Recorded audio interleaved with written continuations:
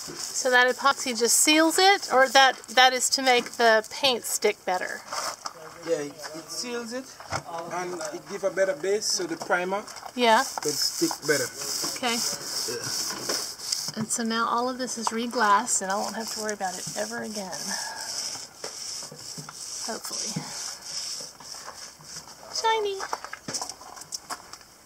Wow. There's that spot that was messed up before. Yeah, this is definitely our keel like we've never seen it before. And underneath. Cool.